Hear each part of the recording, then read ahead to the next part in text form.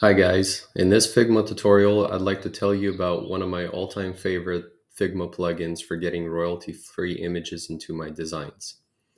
If you've been designing for any period of time, you're probably familiar with the website unsplash.com, which is the internet source for visuals powered by creators everywhere. So there's actually an Unsplash plugin right within Figma, and here's how you get it.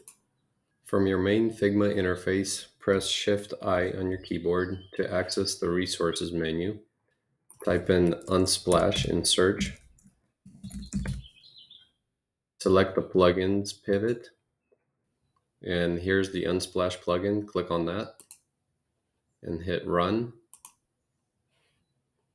The plugin will launch. And from here, we simply type the subject of the royalty free image which we would like to find. We'll look for a cat. Simply click on an image to insert it into your artboard. Here's another one. This guy is pretty cool. Okay, so that's how you go about dropping images into your artboard. Now let's take a look at how you can place images directly into your existing objects.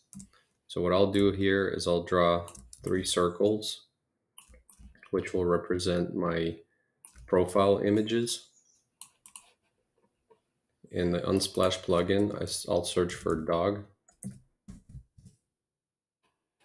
And what I do here is I select any object within Figma, such as a graphic or a frame, and I click on any of the images in the Unsplash plugin.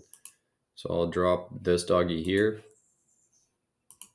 this doggy into this one, this doggy into the third one.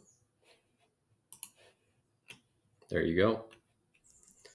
There you go, guys. Very quick and simple way of inserting royalty-free images into your designs. Please let me know in the comments if there's any other plugins that you're aware of for grabbing images.